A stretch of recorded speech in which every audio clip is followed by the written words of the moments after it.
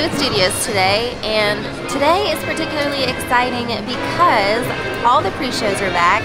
So today's theme is pre-shows. We're gonna do everything Mickey and Minnie's, uh, Tower of Terror, probably Slinky Dog because I'm wearing this shirt, but we have a Rise of Resistance boarding pass. Uh, we don't know what the crowds are to look like today because it's still July 4th weekend technically. It's Monday, and I don't know, I'm just excited to be here today. Mickey and Minnie's Runaway Railway is only a 30 minute wait. We've only seen this pre-show once last March before the shutdown. It is one of our favorite pre-shows. We've watched it on YouTube many times. We're excited to see it again in person. Something that we always like to keep in mind or mention when talking about Mickey and Minnie's Runaway Railway is it's easy to miss is that the premise behind this is that we are going to the movie theaters, hence the Chinese theater, to see Mickey and Minnie's newest cartoon, and that's where the chaos ensues. So easy to miss that sometimes, but the marquees are out front, the setting is there with the Chinese theater, and that just enhances the story just a little bit.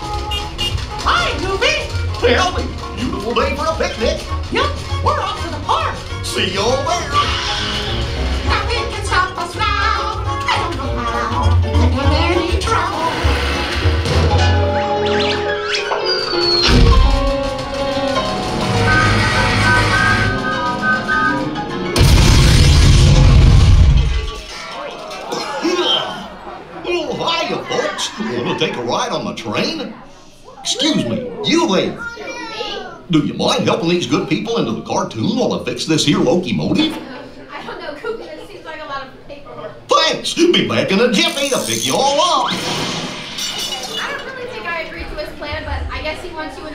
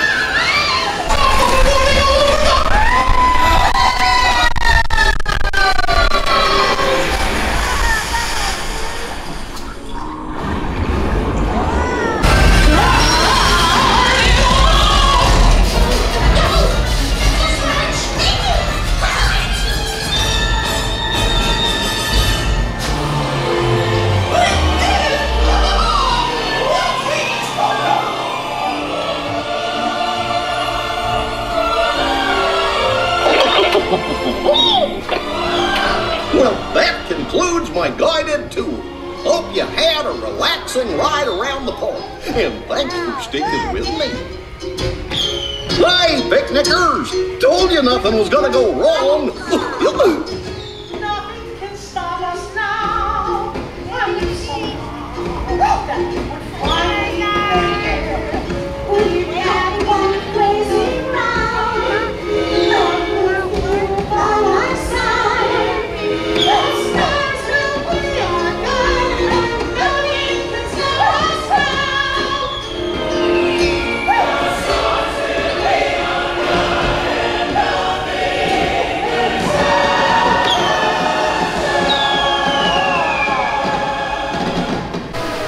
Definitely lived up to the hype. I feel like the pre-show has got to be on the list of best pre-shows at Disney, and I don't know if that's controversial or not, but I'm here to say that it's awesome. I feel like the effects make the story better. I feel like it's a lot easier to understand what's going on, and overall, that's a great ride. How do you feel about this song playing? I'm not well. Every time they play Steve and Peggy's song, it gets you, doesn't it? It does. Do you try to avoid coming on Sunset Boulevard? No, I do love Sunset Boulevard and I love Captain Peggy. It just, I do cry every time I watch it. So time for the Hollywood Tower Hotel Tower of Terror, which in my opinion is the second best pre-show on all of property, only behind the Haunted Mansion. Let us know down in the comments below, what are your favorite pre-shows to see in Walt Disney World or Disneyland? door with the key of imagination. Beyond it is another dimension. A dimension of sound. A dimension of sight. A dimension of mind. You're moving into a land of both shadow and substance, of things and ideas. You've just crossed over into the Twilight Zone.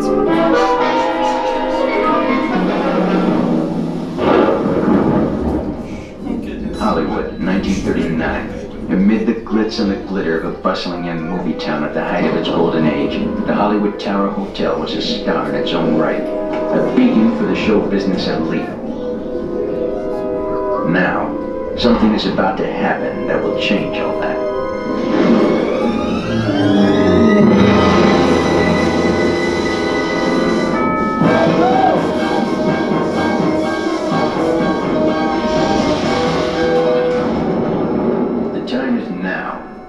Evening very much like the one we have just witnessed.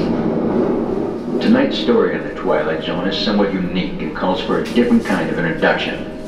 This, as you may recognize, is a maintenance service elevator, still in operation, waiting for you.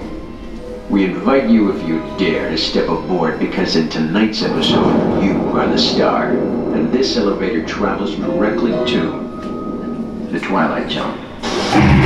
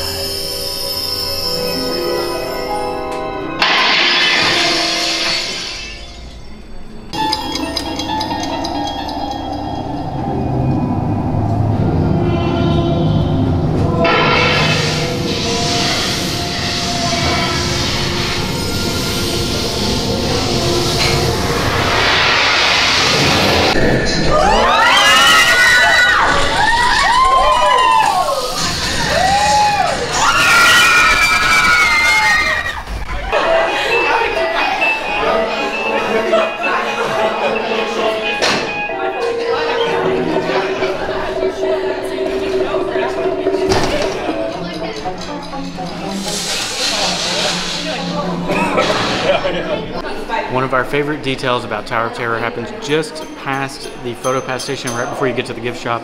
Here's the sunset room. If you look against the wall, you can see the dining menu for the very last night that the hotel was in operation. So it's right here. Here's the menu for Halloween 1939. Started with some hors d'oeuvres, soups, fish, and different entrees. Things from the grill, side items, salads, desserts. It's right here behind this plant, right next to the sunset room. Would you have eaten there? Yeah, absolutely. What did they have for dessert? Peach shortcake, apple pie and cream, and a ghetto chocolate à rodement. This seems fancy. This might be a little above our caliber. You gotta celebrate Halloween. That's true. So this may just seem like a very boring wall, and in some ways it is. We're right outside Tower of Terror, and this is where the extended queue for Tower of Terror has been housed since reopening. And now that they've closed it off, maybe, maybe that means they're getting it ready for Fantasmic, which the queue is right behind there. We'll see. So next up is Rock 'n' Roller Coaster featuring Aerosmith, which Captain, you really don't even like that ride, do you? No, I really don't. But we haven't seen the pre-show in so long, so we're gonna get some backstage passes and check it out. Okay, so we're taking bets. My bet is that the poster inside is going to be Olivia Rodrigo because they always have Disney Channel stars. But was this most record, this most recent record, wasn't done through Disney, was it? No, but the, it, I feel like it would still be her. That's Okay. my bet. I bet it's still Jonas Brothers from like 2009. So you were thinking along this right line. Sofia Carson, not too far off, but not Olivia Rodrigo. How do you feel? Uh, I mean, I'm a little disappointed, but it's okay. I had a really good line be her, but fine. Ah, I guess we'll never know. Just in just a minute. Yeah. Hey, what are you guys still doing here? You were supposed to be at a show. Now. I'd like to introduce our lovely manager. Yeah, she's usually not like this. Yeah, she's usually worse. I heard that. Where is my limo? Good. Okay, come on, guys. Please get in the car. Sorry, folks. We gotta go. Come on. Chris, can you grab my blacklist, Paul? Hey, wait a minute, wait a minute. We, we can't leave these people here like this. We can't? No. Come on, you know how we feel about our fans. Yeah, yeah that's right. Well, guys, what do you expect me to do? Send them all with you? Yeah. Wait a minute. I love that idea. How about some backstage passes? Yeah. Come on. Yeah, oh, come on. Make it happen. Give me some. Okay, okay, okay, I'll make it happen. Right, Now all get right. out of here. You got it, you I hate all of you. See ya. Have a nice ride. Hi, Sal, it's me. Listen, I'm gonna need a bigger car. Make it a stretch. In fact, make it a super stretch. Great.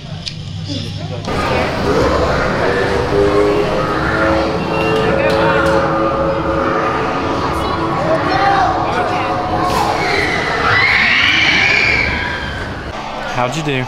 I mean, I made it. I just don't like the beginning. I feel like it's almost too much. I know that's the point, but it's a lot. So we made it. The rest of the roller coaster is good. What about the pre-show though? The pre-show was fun.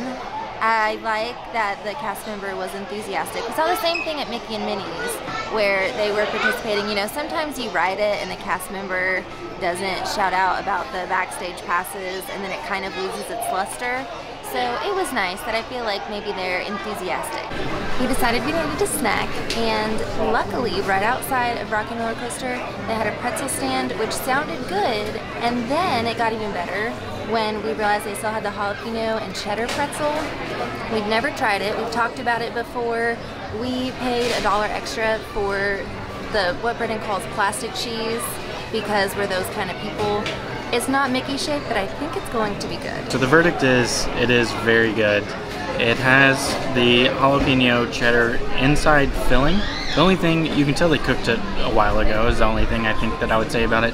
But of course, dipping it in the plastic cheese makes it better, without a doubt. Wouldn't you agree? Oh, I mean, it's so good. It's the same price as the Mickey pretzel, which is a little bigger. We did get one of the last two on the pan, so like Brendan said, they're not super fresh. But I'm so intrigued now on what the sweet cream cheese pretzel would taste like. That's I don't next. think I'd like it. I think I would love it. So that's next on my try list. We're in a little bit of a dilemma. Our Rise of the Resistance boarding pass has not been called yet. They've had it go down a couple times today. It's getting super, super hot right in the middle of the day. And so we're going to try to beat the heat and hang out in Star Wars Launch Bay until our boarding group is called. How about some pod racing, Catherine? I mean, if it's in this air conditioning, I'm down. So I was interested to check this out because Disney did announce just this past week that they are changing the name of this ship from Slave One, but here you can see it still has that same name. It won't last too much longer. So there are no character meet and greets right now. This would be where you would meet Chewbacca, Kylo Ren, and BB-8. So they have this area roped off. We were just sitting there having a nice time at Star Wars Launch Bay, and someone started talking smack. I just said that we needed to come to Toy Story Mania so that I could finally beat Brendan because he has a historical record of beating me. But maybe today will be the day. I'm wearing the appropriate shirt, so I feel like that has to give me some sort of good luck. I'm feeling good about it. Your confidence is going to be your downfall. We'll see. The real question is are you going to work with me or against me? Ooh. So we always try the Easter eggs or the hidden, I don't know, whatever you want to call it, and uh, I'm not very good at it, and I give up eventually. And Brendan will keep trying. So it's not that I intentionally sabotage. It's just that I just kind of decide my own thing is better. So let the record show that my scores would be a lot higher if I had a teammate who didn't give up on the mission. You want to find a better teammate? No, just saying. Just let the record show. Okay. Brendan, Catherine, champion.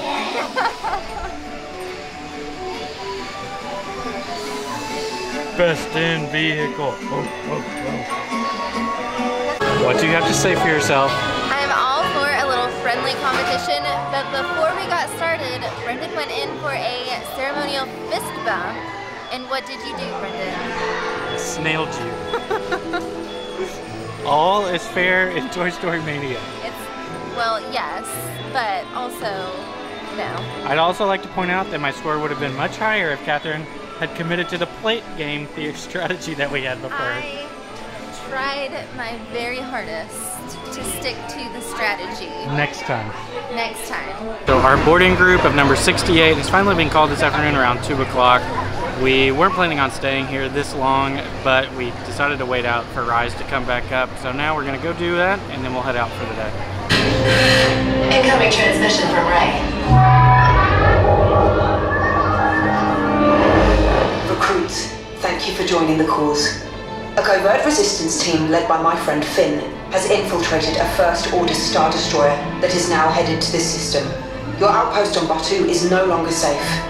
We have transports waiting to take you to General Organa's secret base on Pacara. I'll regroup with you there. The Resistance desperately needs your help in our fight against Kylo Ren and the First Order. Remember, it is vital that you keep the location of the Pacara base secret. Lieutenant Bek, one of our top commanders, will lead you. Affirmative. Transport is ready. Nien Nunb and I shall personally see them delivered. Thank you, Lieutenant. Welcome to the cause. May the Force be with us. Commander Poe Dameron and a squadron of X-Wings shall escort us to the rendezvous point on Pacara. Roger, this is Black Leader. I hear you're a fine-looking group of recruits. Well, no time to waste. Let's get you on your way to the General.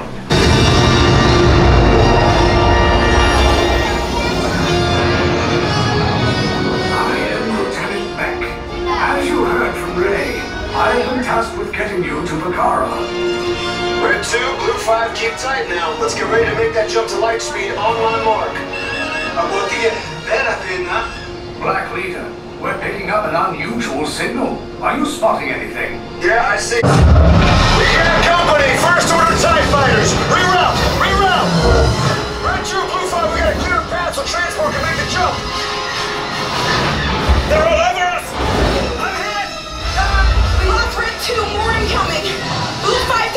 evasive action. Try to shake him, Blue! I'm trying, but... We lost Blue 5! I'm gonna try to draw them away! Copy that. Get us clear so we can make the jump. Be ready, you won't have much time! Where are all those TIE fighters coming from?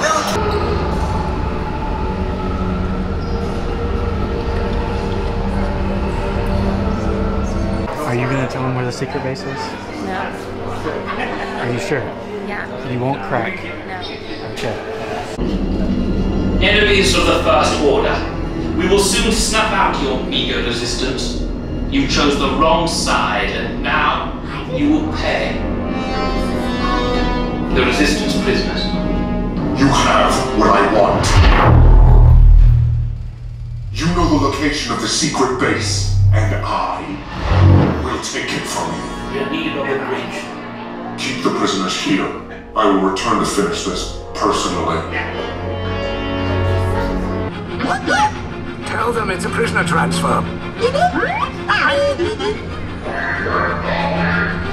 it work? Good. Now get a move on. There's a clear path to the turbo lifts at the end of the hallway. Turn right. Hey, you're not authorized. Wait, if those are the prisoners. Information is mission block three. Cover is blown. Sir, now's a good time! Ah! The escape pods just blew us! Wait, why are you going up? I said down. Up is bad. Up is real bad. Neither the resources nor the courage to engage us. You underestimate their conviction. Raise the shields. Shields? I see no evidence. Now! Sound the alarm! All personnel to their stations! Sir, the prisoners have escaped. How brave, but ultimately hopeless.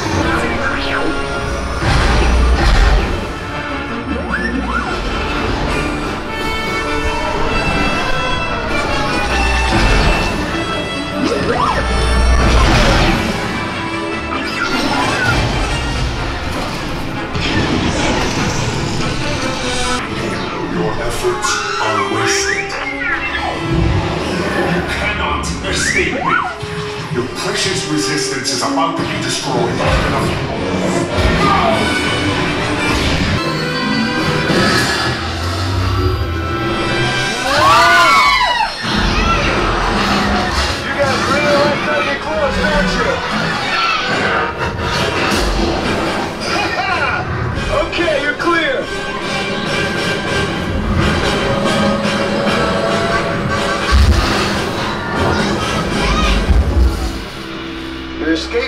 Came in a little off target. What a day.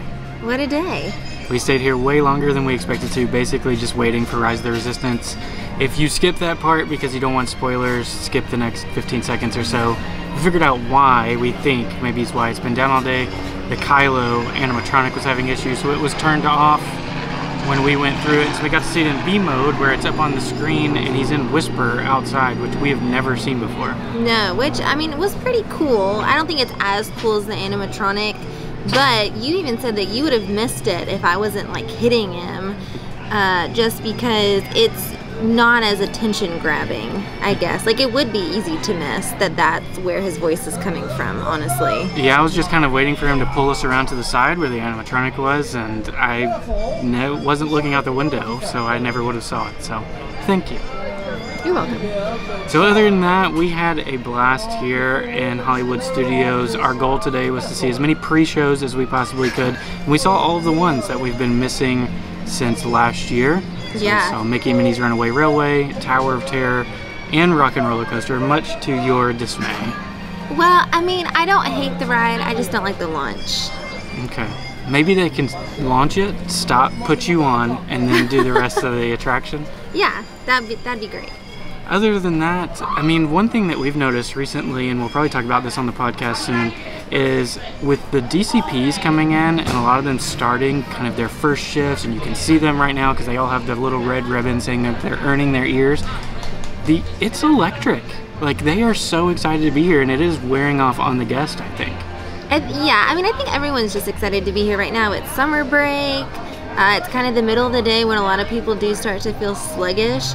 But I agree, those cast members are really keeping it going.